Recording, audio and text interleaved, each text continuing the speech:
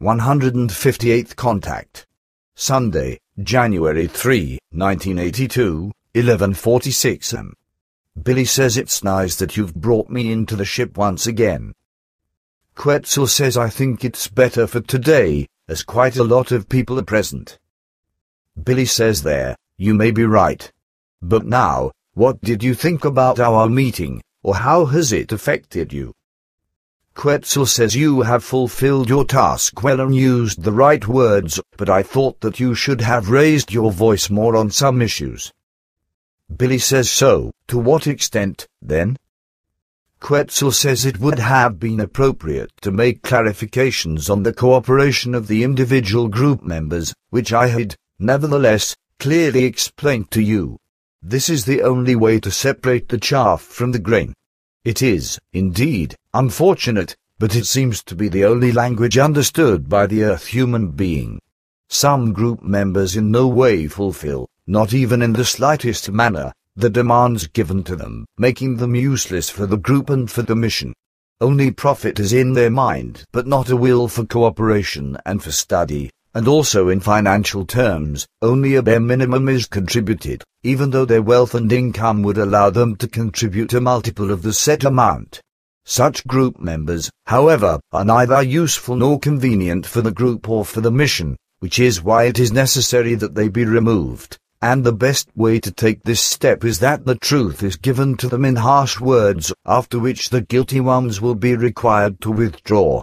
By law, so according to the statutes, these group members would have to be obliged to provide their necessary services in equal solidarity, which should be waived. Nevertheless, because their minds wouldn't change due to laws that require them to provide solidary benefits, for this reason, the truth should be brought home to them with harsh words, after which they then have to decide themselves whether a withdrawal from the community is better for them or whether the statutory given duties to be fulfilled are more important for them if they follow these. Included in the statutory given and clearly defined duties to be fulfilled, however, is also the cooperation in the monthly magazine, for which monthly contributions of the individual group members are needed. Whoever doesn't make these contributions within the scope of the duties to be fulfilled, however, violates the statutes and ordinances. But now, in order to tackle this evil, it was recommended by me that for every missing contribution, a monthly amount will be increased by 5 francs, which should steadily increase each month by 100% of that amount, if the obligation still isn't met. If the violations, nevertheless, still continue to appear, then an exclusion from the group should result when the monthly contribution amount for the monthly magazine has reached 50 francs. A group member who takes it so far that even through such measures the duty doesn't become fulfilled is not worthy of membership in the community, and above all, it still hasn't become clear to such a group member that the internal core of the community must truly be trained to an elite. But members who do not fulfill their duties referred to them can never become elite members, so for them, there only remains the way of expulsion. For this reason, I've asked you to raise your voice with harsh words of truth, through which no doubts should remain about the fact that, seriously and exactly, the articles of the statutes and ordinances are to be fulfilled dutifully, otherwise, a continued membership in the community for the fallible ones is no longer acceptable or given. Billy says I know, you did, indeed, tell me that clearly and plainly, nevertheless, it has given me no pleasure to have to be hurt in this way, in accordance with your instruction.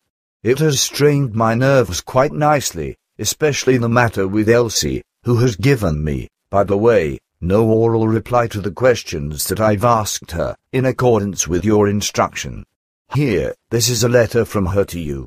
I assume that her answer is included in it. You read it the best. Quetzal says thank you. Quetzal opens the letter and reads it. As I've already feared, Elsa is subject to her own pronounced inconstancy, which is why she isn't able to make a clear decision. Unfortunately, it hasn't changed with her yet that she always only perceives issues approaching her from her own perspective and sees these in such a way as she personally wants to see them. This means, however, that she very often doesn't recognize the truth and that she works herself up in assumed and self-produced falsehoods, which she contrarily defends hard, leading to aggression and differences of opinion. At the same time, her bossy nature works itself up into proportions that suppress any reason, but which then, shortly thereafter, flow into self-pity. Then, from this, there arise the false thoughts that every assistance of hers would fail and that she is being exploited.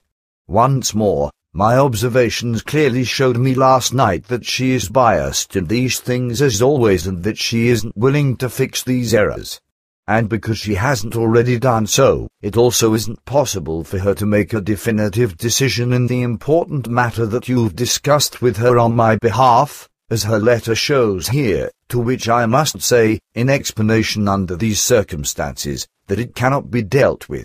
The cited reasons are, indeed, trivial, as she knows very well by the former events with Sarah.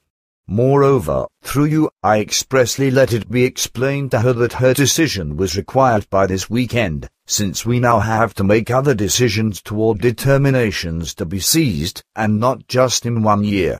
Her inconstancy now demands us to exclude her from these concerns, after which no further discussions about this still have to occur.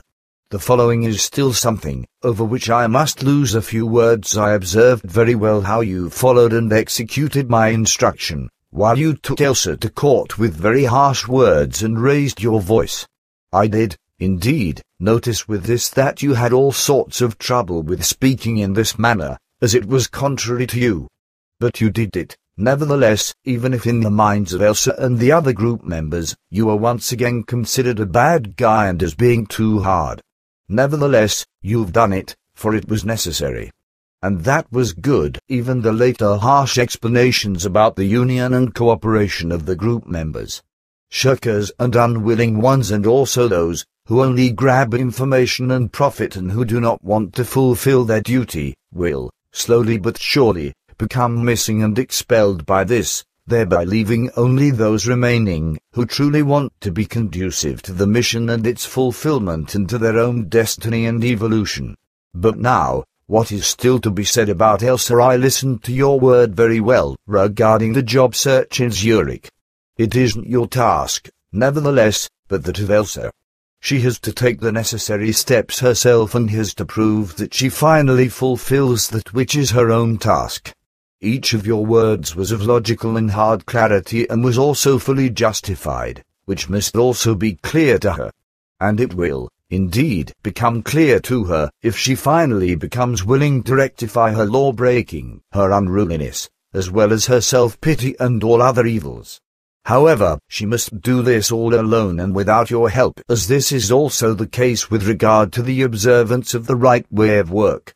I already calculated a year ago that only a full day and year-round work is beneficial for her, as you correctly cited in your explanations. Even your own detailed explanations, however, were of correctness, and Elsa should act exactly in accordance with these. She should look the true facts in the eye once and see the truth as it actually is. She should finally put aside her truly childish displays of false perspectives regarding elapsed financial concerns, etc., and honestly look the true truth in the eye. She should also finally recognize that her current debts are only due to her unruliness, unwise courses of action, and to the fact that she ignored all instructions and advice in a stubborn and self-opinionated manner. But now, she has to work herself out of this by her own strength, and help from a group member would not only be inappropriate for her but also wrong. Due to corresponding help, she wouldn't recognize or correct her errors and would learn nothing. This recognition can only come to light if she now, by her own initiative, repairs the damage caused by her irrationality. This is, however, also true for the job search, which is why I must consultatively prohibit you from helping her with this. And if she is actually willing to follow my and your advice, then she will already find the job that's important for her by tomorrow. Nevertheless, you have to keep out of this, for it is neither your task, nor would it be beneficial for Elsa, who has to take the necessary initiative herself. And to say more about this would be superfluous. There remains only one word to say about Roland, for whom things should remain in such a way as I have advised you. Our discussions haven't produced any new results, so the observance of my advice represents the best way. Billy says that's about what I've thought to myself. But now a question did you see the different reactions, after I had recited my speech at the meeting? Quetzal says yes, there was a lot of astonishment. The fallible ones were very strictly aware of their fallibility, and they also knew very well that the speech was about them, even though you mentioned no names. Their exclamation, that they want to request their expulsion, was just a pure, completely natural reaction. Only Roland seems to be unaware of the consequences because his mental laziness and his unwillingness to produce a concentrative implementation of a change to the better do not allow him to recognize the truth. This also means that he isn't capable of adapting himself to the meditation, which is also why the Saha Center must remain closed to him. For him, I can also now give you the exact information regarding his necessary work time, as in the meantime, I have calculated it exactly. His time is 11 hours and 38 minutes, so he has the highest rate among all group members. If he now doesn't strive further toward a continuing and advanced education in every respect, however, then he will become unbearable for the community, after which he would then have to be expelled from it and would have to move away from the direct area of the center. His actions have a demoralizing effect on the group members, which cannot be borne for a long time. If he doesn't strive to do this, then his expulsion would have to occur after some time, as well as his departure. Preventing this, however, is solely within his power. Billy says I know, I've also made that clear to him. Quetzal says you must act in such a way, if you want to attain the original state again, as it prevailed at the beginning of our contacts. Billy says that is clear to me, and since you grant us this opportunity, together with yourselves, all those who are knowing in these matters also strive for that. There are, after all, still many long-established group members who have witnessed everything from the outset. The effort will, therefore, not diminish. Quetzal says that is very gratifying to hear, but now, you must go back again, for I still have some things to do, but wait there are still a few things to be discussed in the matter of Ferdinand, etc., but outside of the transmission. Billy says okay, then fire away, my friend. The end.